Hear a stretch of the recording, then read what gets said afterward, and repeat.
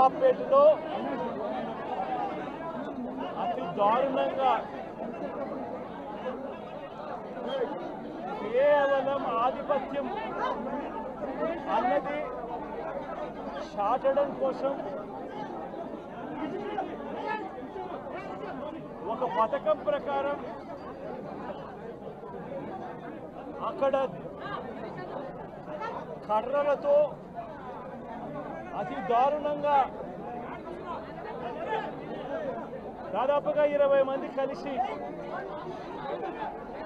కర్రలతో అతి పాశవికంగా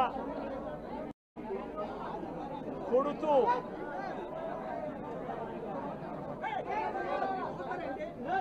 చివరికి హాస్పిటలైజ్ అయి తీవ్రమైన దెబ్బలతో వాళ్ళు హాస్పిటల్లో ఉంటే ఏం సాధిస్తా ఉన్నారు? చంద్రబాబు నాయుడు గారిని అడుగుతా ఉన్నాను నేను. మీరు చేసే ఈ కిరాతకాలు ఈ దారుణాలు వాళ్ళ ప్రజలు ఏమన్నా భయపడతారు అనుకుంటున్నారా ఎవరు భయపడరు. ఇది ఇంకా కోపంగా మారుతుంది. ఇది ఇంకా కోపంగా మారి చంద్రబాబు నాయుడు గారిని తెలుగుదేశం పార్టీని రెండింటినీ కూడా బంగాళాఖాతంలో కలిపే పరిస్థితులు కూడా దారితీస్తాయి మామూలుగా కొత్త ప్రభుత్వం వస్తే ఆ ప్రభుత్వం మీద వ్యతిరేకత రావడానికి కాస్త కూస్త టైం పడుతుంది. కానీ మొట్టమొదటిసారిగా చూస్తా ఉన్నాం చంద్రబాబు నాయుడు గారి మీద వ్యతిరేకత అన్నది చాలా ఫాస్ట్గా పెరిగిపోతా ఉంది. నిజంగా ముఖ్యమంత్రిగా ఉన్న వ్యక్తి గవర్నెన్స్ మీద ఫోకస్ పెట్టాల్సింది పోయి ఏం చేస్తా ఉన్నాడు అన్నది ఒక్కసారి తనను తాను ప్రశ్నించుకోవాలి అని అడుగుతా ఉన్నా. ఈరోజు రైతులకు సంబంధించి వ్యవసాయం పూర్తిగా ముమ్మరంగా సాగుతా ఉన్న పరిస్థితుల్లో రైతులకు తాను హామీ ఇచ్చిన మేనిఫెస్టోలో తాను చెప్పిన హామీ రైతులకు ఇరవై వేల రూపాయలు పెట్టుబడి సహాయంగా ఇస్తానని చెప్పి.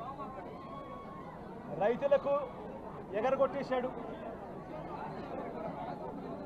ఇవ్వాల్సిన రైతు భరోసా సొమ్మును కూడా ఇవ్వకుండా ఎక్కువ చేసి ఇస్తానన్న రైతు భరోసా సొమ్మును కూడా ఇవ్వకుండా రైతులకు మోసం చేశాడు. పిల్లలు బడులకు పోతా ఉన్నారు. ఎంతమంది పిల్లలు బడులకు పోతా ఉన్నారు అన్నది అందరికీ తెలిసిన లెక్కలే.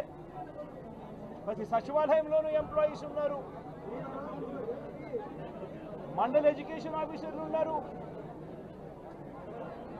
అయినా కూడా తల్లుళ్ళు మోసం చేస్తూ అమ్మఒడి ఎగరగొట్టేశారు. ప్రతి పిల్లాడికి ఇస్తాను అని ఎన్నికలప్పుడు చెప్పిన హామీ నీకు పదహైదు వేలు నీకు పదహైదు వేలు నీకు పదహైదు వేలు నీకు పదహైదు వేలు అని చెప్పి ఆ ప్రతి పిల్లాడిని చూపించి ఇస్తాము అని చెప్పి ఆ పిల్లలను మోసం చేశారు.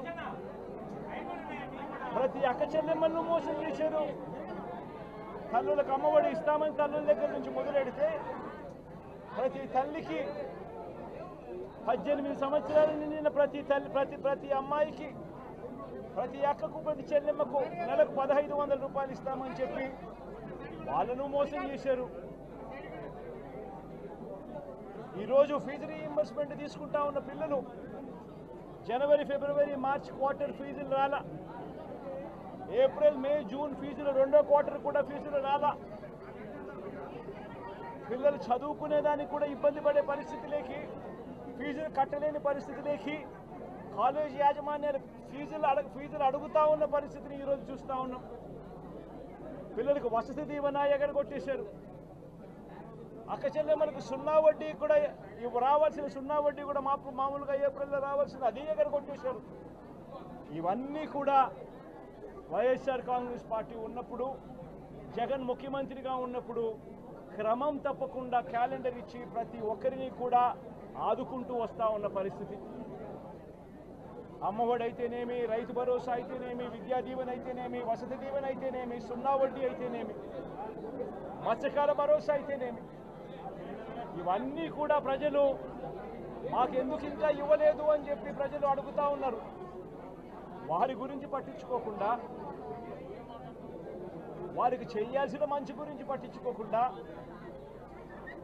స్కూళ్ళను నిర్వీర్యం చేస్తూ చదువులను నిర్వీర్యం చేస్తూ హాస్పిటళ్ళను నిర్వీర్యం చేస్తూ చివరికి ఏ ఒక్కరు కూడా మిమ్మల్ని ప్రశ్నించకూడదు అని ఏ ఒక్కరు కూడా రోడ్లెక్కకూడదు అని ఈ మాదిరిగా భయాందోళనను క్రియేట్ చేయాలనే ఉద్దేశంతో గ్రామ స్థాయి నుంచి మొదలెడిది ప్రతి ఒక్కరికి కూడా మీ కక్షలు మీ కార్పణ్యాలు మీరు తీర్చుకోండి అని చెప్పి గ్రీన్ సిగ్నల్ ఇస్తూ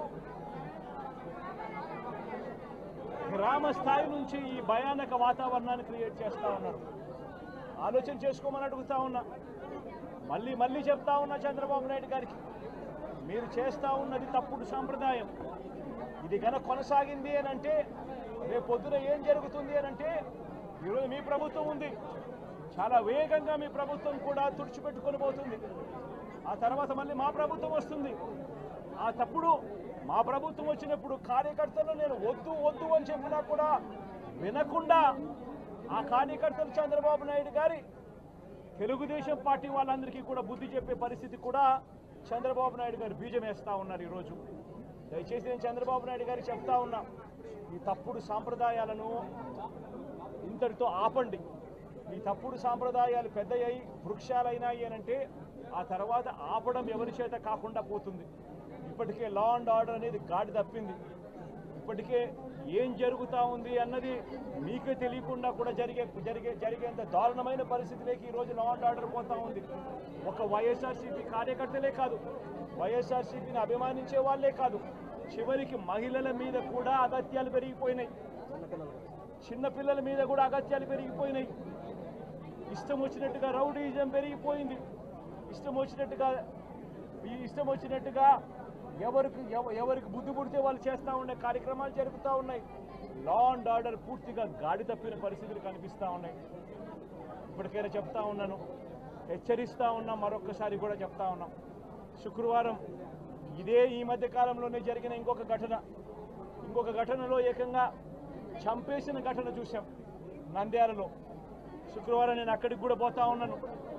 ఆ జరిగిన ఆ ఘటనను కూడా ఒకసారి రాష్ట్రం దృష్టికి దేశం దృష్టికి కూడా తీసుకొని పోయే ప్రయత్నంలో భాగంగా అక్కడికి కూడా వెళ్ళి జరిగిన అగాధ్యం జరిగిన అన్యాయం అక్కడ కూడా హైలైట్ చేసే కార్యక్రమం కూడా చేస్తాం. ఖచ్చితంగా హైకోర్టు తలుపులు తడతాం. అవసరమైతే సుప్రీంకోర్టు తలుపులు కూడా తడతాం. ఇప్పటికే ప్రధాన ప్రధాన ప్రధాన రాజకీయ పక్షాలన్నింటికీ కూడా జరుగుతా రాష్ట్రంలో జరుగుతా ఉన్న అన్యాయాల గురించి వివరించడం జరిగింది. హైకోర్టు సుప్రీంకోర్టు గడపలు కూడా ఈ గడపలు కూడా గట్టిగా తొక్కే గట్టిగా వాళ్ళ తలుపులు కూడా కొట్టే కార్యక్రమాలు గట్టిగా చేస్తాం. రాష్ట్రంలో జరుగుతూ ఉన్న ఈ అన్యాయాలు ఈ ఆక్రందనల మీద ఎందుకు ప్రెసిడెంట్ రూల్ విధించకూడదు అని చెప్పి కూడా గట్టిగా వాళ్ళని అడిగే కార్యక్రమం కూడా చేస్తాం. గవర్నర్ గారిని కూడా ఈ విషయంలో కలగ చేసుకోవాల్సిన అవసరం ఉంది అని చెప్పి కూడా గవర్నర్ గారిని కూడా ఈ సందర్భంగా గవర్నర్ గారిని కూడా విన్నపిస్తూ ఉన్నాం. ఇవన్నీ కనీసం మీరన్నా సుప్రీంకోర్టు జడ్జిగా పనిచేశారు. కనీసం మీ సమక్షంలో మీరు ఉండగానే ఇవన్నీ ఈ రాష్ట్రంలో జరుగుతూ ఉన్నాయి. దయచేసి మీరు కూడా కాస్తో కూస్తో చూసేసి ఉన్నట్టుగా పోకుండా మీరు గట్టిగా ఇన్వాల్వ్ కమ్మని చెప్పి గవర్నర్ గారిని కూడా ఈ సందర్భంగా విజ్ఞప్తి చేస్తా ఉన్నారు ప్లీజ్ subscribe dot